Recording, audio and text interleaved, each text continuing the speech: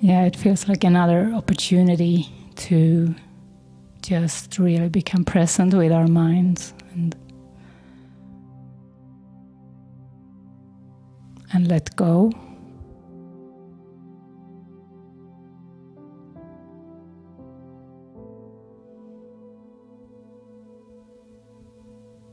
Because I see how self concepts they just live on the surface.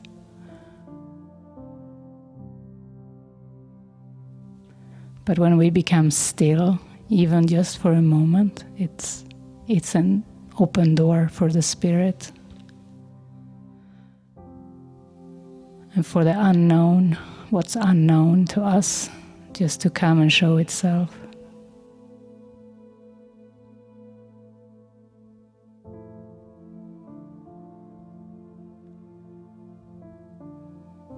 Spirit, we open our minds this morning.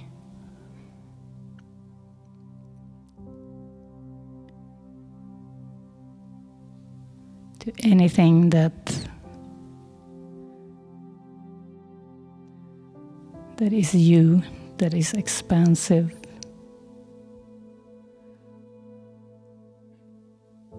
That is not telling us who we are in a sense of the past.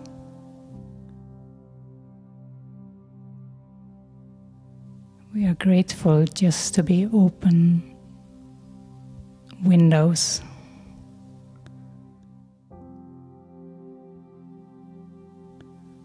Being shown.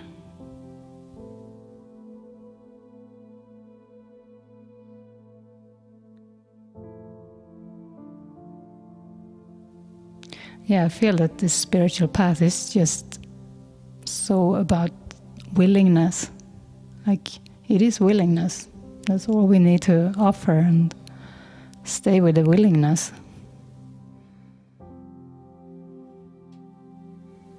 Because we can't, we don't know, we don't know anything actually. And we can't understand this world. And this world has nothing to give us or teach us. Yeah, so it just always just comes down to just taking a moment actually. Just take a moment and give yourself some time off from the intellect, the self concept. And in that moment is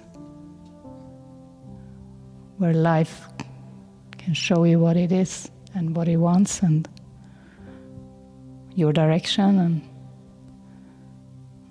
that's the only place where you can find the answer and can feel any kind of direction and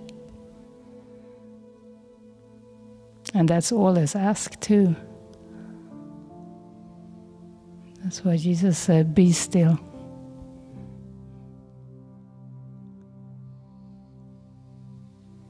So when we have fear or when something is running in our heart or in our mind, it's that itself is an invitation to to just take a look, take a pause. Because that is not our birthright, that fear and that confusion or whatever that is. But our birthright is peace, so that's actually our gateway to peace. Whatever is blocking is our forgiveness lesson, it's our path to peace.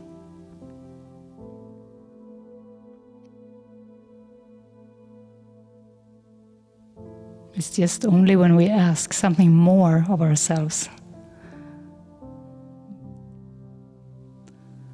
that we get confused.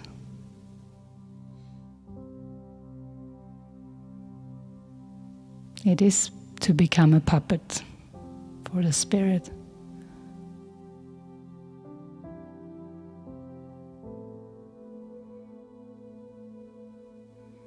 And that's a very good thing.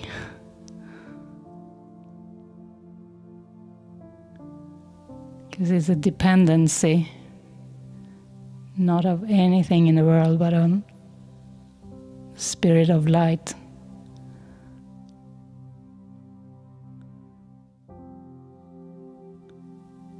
And it's a very, very cool experience.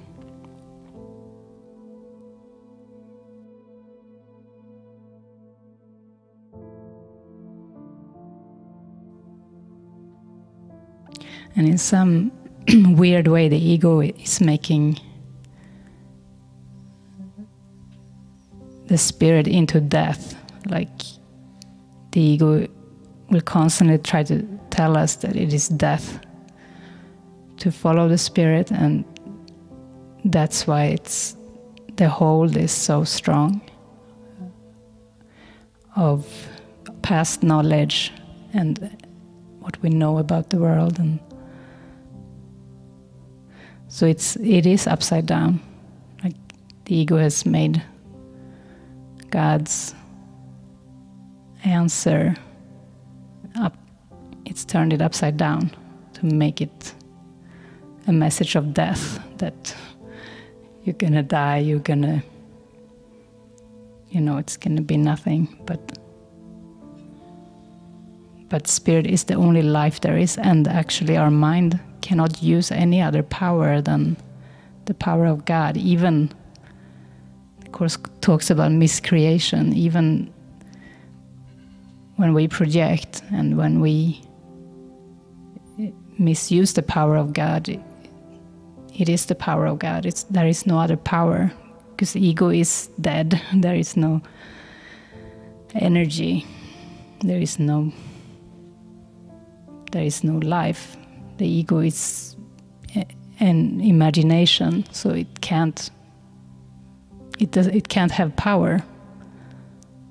So there is only it comes down to there is only God actually.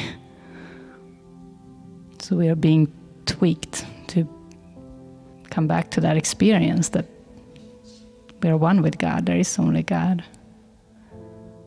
And until we know that, we will, the mind will continue to do its thing and miscreate and judge and project, but doesn't really do anything. It prolongs suffering and confusion and all of that, but it's not real. So, this is very well spent time to take this look at the mind that, that we're always invited to do wherever we are. So, very well spent time we can never really waste time if we have that as our focus. And in that, we will be guided to the what. So it's just to undo the fear of following that guidance. So let's just let this altar session continue today in our minds. Just keep this experience of handing over anything that is unworthy of you, of your holy mind. Yeah, in all of this, we can actually trust. That's, that's the only thing we can do is we can trust. We are swept away by the Spirit. Something seemingly unknown, but yeah, just keep trusting.